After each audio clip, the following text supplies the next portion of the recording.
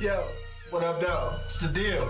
It's your boy, the Hood Howard Stern, Q Lewis, back with another installment of the Flipside blog.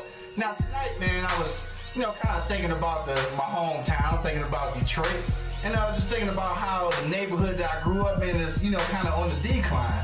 So I started thinking about urban areas all over, you know, all over the United States, and just thinking about how it's on the decline. And to be quite honest, lot of people in the inner city that's actually, you know, uh, I, for lack of a better word, I'll say they're they're actually, you know, adding to that decline.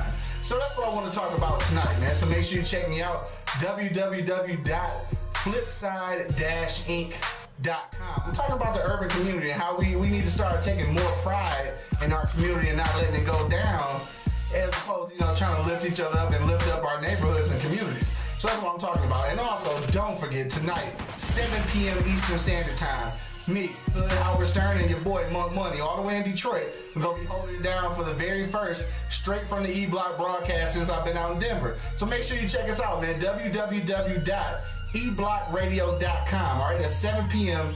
Eastern Standard Time. So 7 o'clock in the D, but if you're out in Denver, that's gonna be the drive home time. So it's gonna be about 5 o'clock. So make sure you check us out.